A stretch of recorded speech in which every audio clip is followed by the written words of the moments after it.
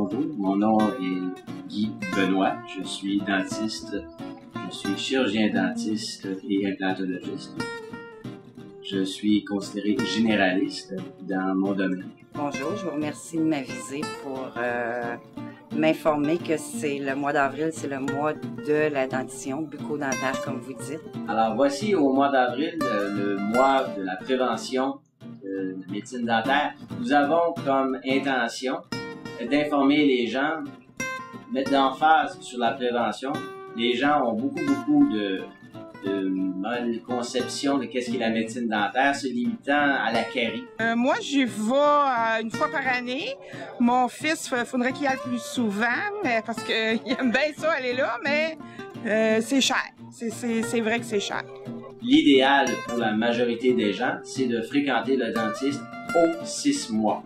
C'est vraiment cette façon qu'on va pouvoir intercepter la carie avant qu'elle devienne profonde. Mon expérience de petite fille euh, dans le temps a été assez traumatisante. Le dentiste a brisé une aiguille dans mon palais en me gelant. Alors c'était la crise, il était trois pour me tenir et puis je voulais absolument pas. On peut reculer à l'arrière un peu et se dire que quelles sont les premières aiguilles qu'on a vues, qu'on a, qu'on a reçues? Alors ce sont les fameux vaccins, parce que malheureusement les choses étaient faites un peu rapidement et euh, il me laissait de très mauvais souvenirs. Lorsqu'on va chez le dentiste, maintenant, il y a des techniques tellement douces qu'on peut même plus percevoir l'anesthésie. Ça dépend beaucoup de l'éducation, puis du soin euh, familial qui est apporté, euh, la responsabilité familiale qui, qui, lui est donnée. Pour certains, beaucoup, puis pour certains, pas du tout, j'imagine. Si vous reculez deux, trois générations, il était à la mode d'antan les dames qui s'apprêtaient d'aller aux noces, de se faire enlever toutes les dents du haut afin de se faire faire un dentier, simplement pour faire de beaux portraits. On s'entend que toutes ces dames-là, aujourd'hui, le regrettent vivement. Je me suis fait euh, bien entretenir mes dents quand j'avais des assurances à l'époque. Euh, maintenant, pas d'assurance, c'est impossible.